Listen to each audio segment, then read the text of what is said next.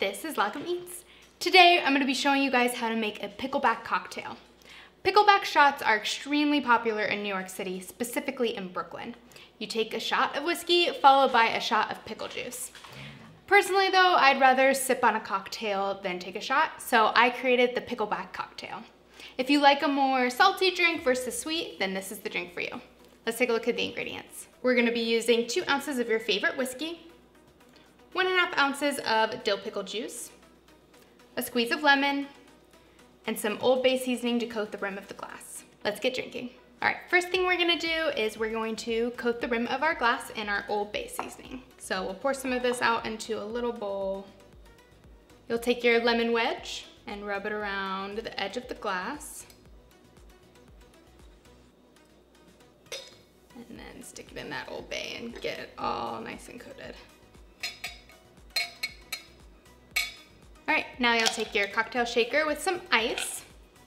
We'll put our whiskey in there. We're using about two ounces, so you'll take your jigger. The big side is an ounce and a half. So we'll fill it up once. And then a little less than halfway.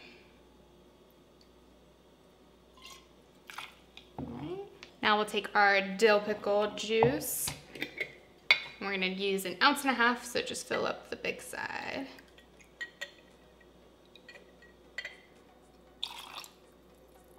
Now we're gonna squeeze our lemon in there. All right, and we'll give it a shake.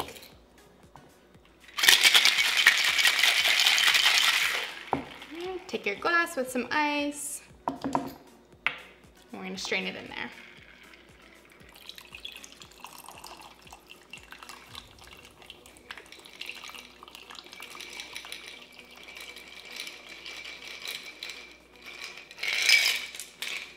And there is our pickleback cocktail.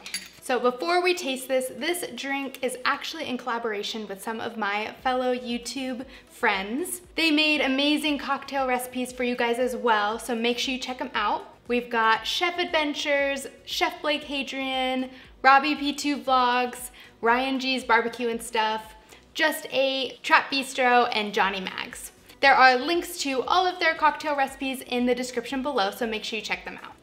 Let's taste this.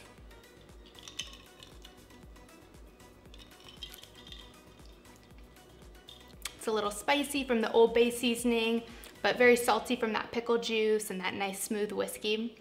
To be honest, whiskey isn't my favorite kind of liquor, but this drink is fantastic if you love that salty kind of drink. Maybe if you love Bloody Marys, try this.